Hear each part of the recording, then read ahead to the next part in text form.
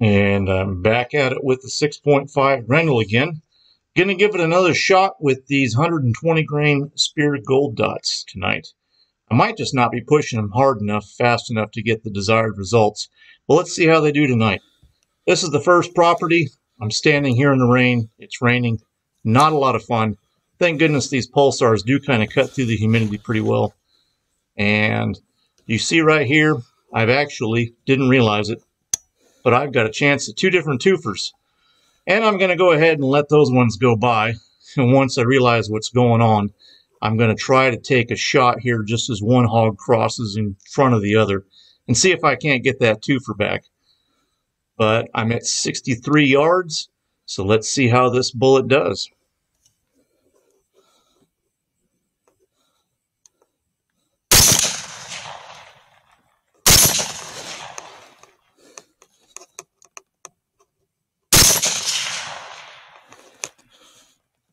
Oh, sh You know, I pride myself on not losing a lot of hogs.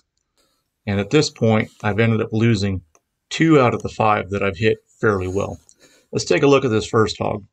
You can see that it was a 140 pound boar, but there's quite a bit of blood loss. This one actually did as I'd hoped from the bullet. You can see where the bullet entered just right there at the base of the skull where it meets the neck. And it looks like, and it felt like, it clipped the bottom of the spine since I was shooting slightly uphill towards it and actually ended up angling back down, breaking the spine and exiting after taking out the circulatory system. And here we have a good hole. I managed to actually stick a stick into the hole. This is textbook. So, what happened to the twofer? Well, this is the last frame before the shot and the bullet obviously had passed through this hog, striking the hog behind it somewhere in the lower neck region.